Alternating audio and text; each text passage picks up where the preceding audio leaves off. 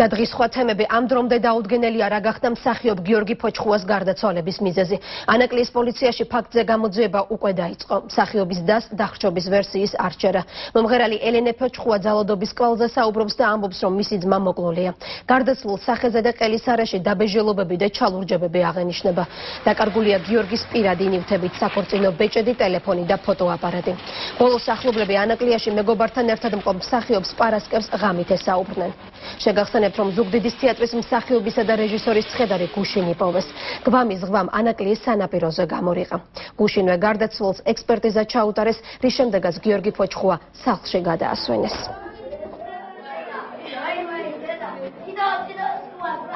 მასთან ერთად იყო რამოდენიმე სხვა ადამიანი. ანუ ერთის გაკეთებული ისე ერთი ამას ვერ ვერ წაათრევდა ადამიანს ესე. მერე სხვაში ყავს ჩაგდებული, გააშიშვლეს. ნუ გაავრცელდა რომ იბანავა და ჩაიქცვა არანაირი ბანაობა იქ არ ყოფილა.